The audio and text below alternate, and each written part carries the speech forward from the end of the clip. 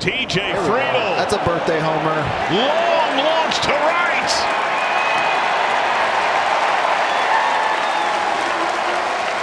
The birthday boy delivers. First red to go deep on his birthday since Joey Votto, 10th of September last year. Love to see that from TJ, regardless